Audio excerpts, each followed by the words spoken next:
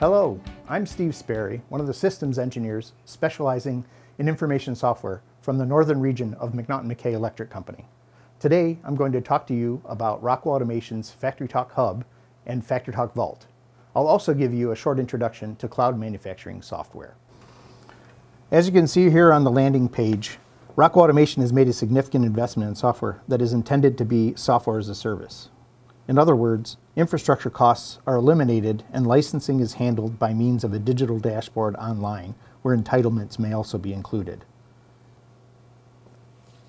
So what we're going to talk about today is FactoryTalk Vault with design tools. Let's take a look at the product website. We can see here that there's information about the overall promise of using a secure storage that is cloud-based and with a dedicated private area as well as an organizational area to share.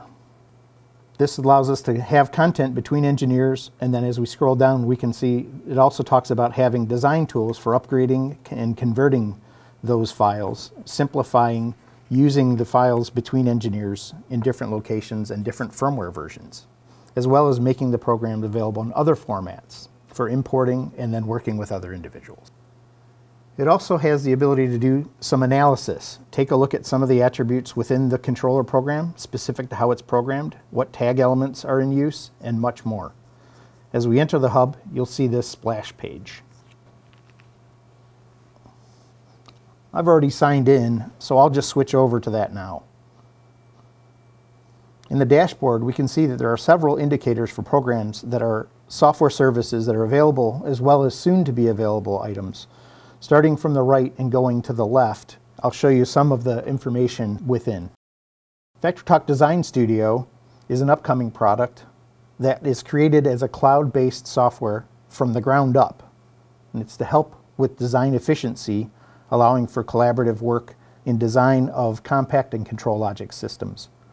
It also gives you the ability to leverage some of the practices evolved in DevOps, for example, sharing files that have some type of revision control.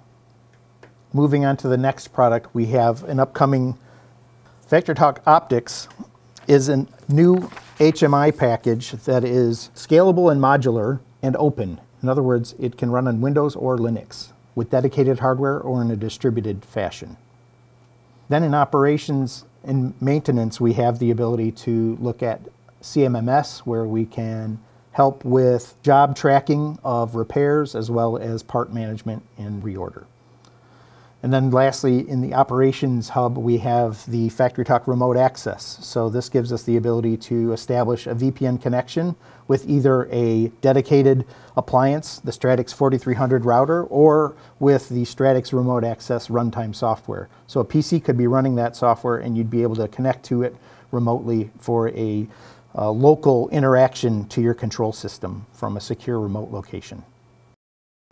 But today what we're going to show is the FactoryTalk Vault, and we're interested in talking about some of the features available to us today with an existing support login. So again, this uses the Rockwell Automation technical knowledge base login, and with that account, you have access to the Vault that is now loading.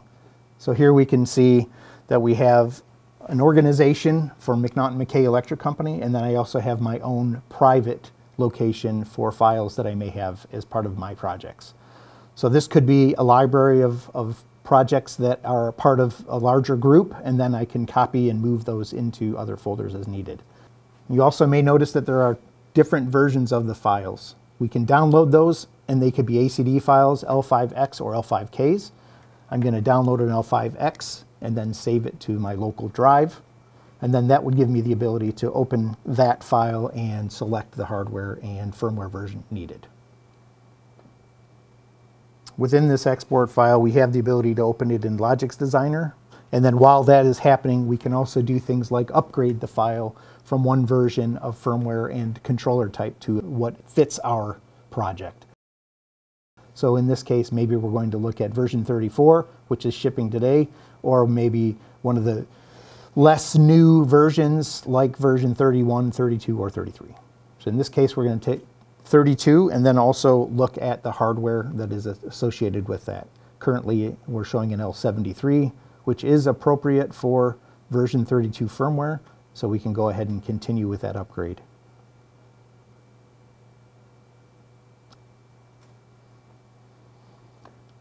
Now you may notice that there is a gray upgrading notification on the screen, so it's actually doing the job of upgrading from version 28 to version 32.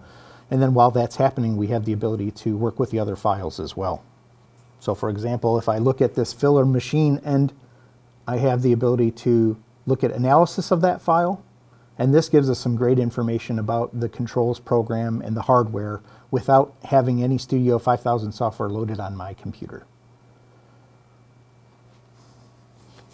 Here we can see the rack for the controller. Because it's a CompactLogix, there's just a single controller and no I.O. We also can see the program composition and controller task model that are employed by this program. Other notes of interest is here we have motion and we can look at some of the parameters within the motion configuration, whether it's a virtual axis or the physical uh, CIP drive axes. We can get information in regards to the request packet interval, which is shown, as well as the uh, range of position and speed and acceleration. More details to the right could show us the motor catalog number, and again, we're getting all this information without having to install Studio 5000 software. Looking at other information that might be of interest, we see that it is a safety controller and we can look at the safety task information if we look at the details here. Looking at the analysis of another file, we can see some of the other attributes and where there may be some differences. If we select the safety task, again, we can see the mode, uh, whether or not the safety uh, task is locked, and then also uh, safety network numbers. We may also look at the module level and see the safety network number at the module level as well. As we can see, there's also a firmware indication there, as well as the level of rating that we have, whether it's SIL 2 or performance level D. In the program composition, this is where we see what types of uh, tasks are involved. And then we also have the ability to look at tags, what types of tags. And then lastly, looking at object types that might be a part of the program. So add-on instructions, user-defined data types, and even user-defined strings are shown here. Again, we're getting information about who owns these libraries or these objects? These are vendor owned. These are part of the Drives and Motion Accelerator Toolkit. So they have the ability to uh, be managed by the vendor and then also give us information about how those interact with our control system. User-defined data types has a nice tool that gives us the ability to select a user-defined data type and indicate whether or not there's a relationship to an existing add-on instruction. So we can see here with the UDT consume history, it is attached to an Axis consume CIP sync add-on instruction, and we can see again there's relationships between those tags and that function.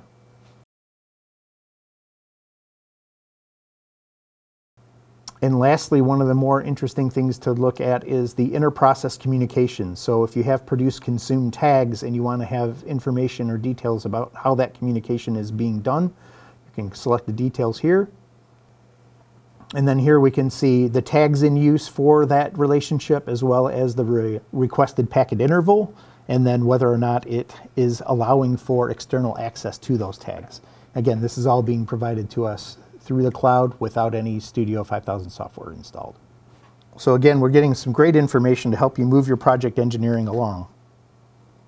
Thank you for watching this tech support video on Rockwell Automation's FactoryTalk Hub and FactoryTalk Vault. For more videos like this, please visit and subscribe to the McNaughton McKay YouTube channel.